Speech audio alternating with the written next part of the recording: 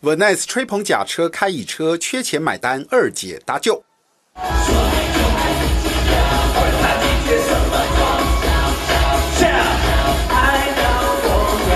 哎呀，Venice 干嘛在这边蹦蹦跳跳？哎，还有点笑笑。不说爱线，西兰可太炫。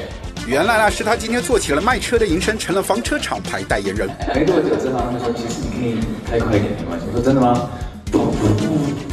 非常负责，对车子外形、内装、性能说尽好话，但是不，苹果直击他私底下开的根本是不同厂牌的车啊！嘿，而且这位开购物车的壮妹是谁呀？怎么不是传五月一和 Venice 订婚的新加坡富二代姚之宁呢？是说啊，昨晚苹果在大卖场直击 Venice 微服出巡采买，这个壮妹啊始终随侍在侧。哎，会员卡有 Venice 掏，杂货有 Venice 搬，钱也有 Venice 付。一二三四五张千元大钞还不够的样子，要希望壮妹进来搭救。哎呦，哪来的仙女？你人怎么那么好？哦，原来此妹是个。姐 Vanessa 家的二姐 Wendy 啦，我会继续好好的努力啊，让 Elantra 更有啊好的新闻出来。